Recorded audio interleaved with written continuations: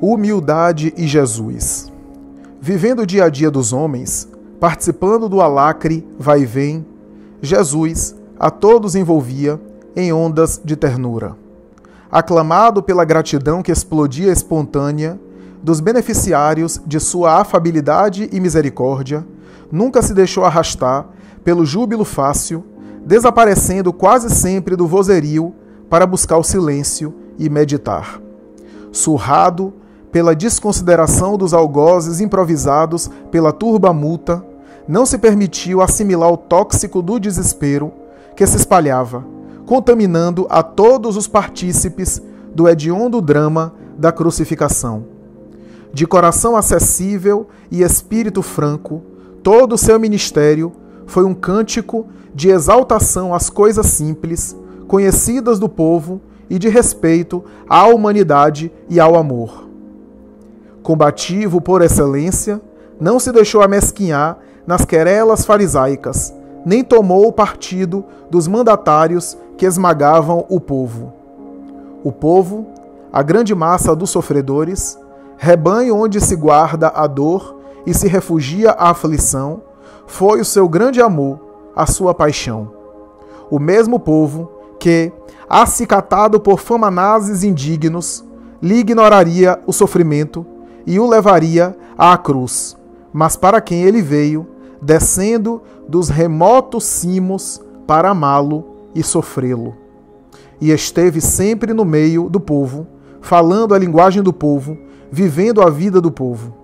Mestre, fez-se amigo de gárrulas, criancinhas da aldeia, reexperimentando as alegrias infantis.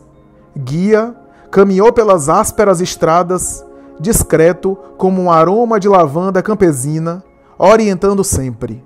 Senhor, cercou-se de famulentos portageiros e rudes cameleiros nos albergues de estrada, parecendo igual a eles.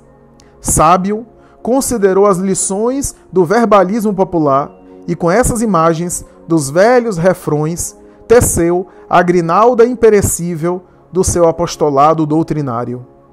Excelente, não aceitou a nomeação de bom, louvando o Pai como digno, somente ele, de tal qualificativo. Sadio, sustentou enfermos e os curou, mitigou a sede de muitos e atendeu ao tormento da fome dos que o cercavam repetidas vezes. Trabalhador, metodizou as tarefas para não cansar aqueles que convidara para o exercício divino da fraternidade. Nunca se exaltou, porém, entre os que o cercavam Perdia-se na multidão, embora o halo de transcendente beleza que o destacava. E nas breves horas, reservadas ao repouso, após as fadigas, refugiava-se na noite para submeter-se ao Pai. Jesus e humildade. Nem rebelião, nem engrandecimento. Embora injusto, o tributo contribuiu para o seu pagamento, respeito à lei. Inócuas as abluções como de valor espiritual. Aceitou-as, a elas se referindo, lição do exemplo sem palavras.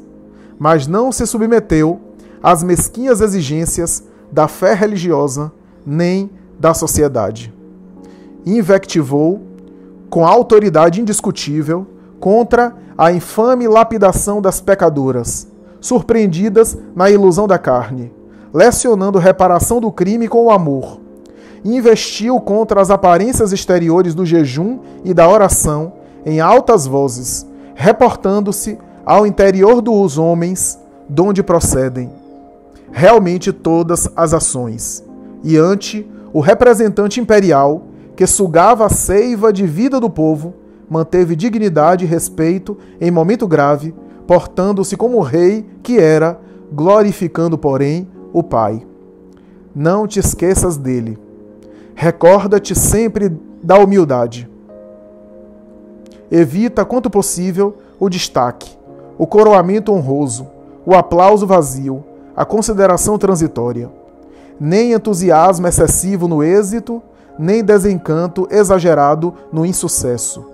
Os que o vaiaram a caminho do Gólgota homenagearam-no às vésperas em triunfo ou queda aparentes, busca Jesus e fala, sem palavras, ao seu coração de condutor vigilante.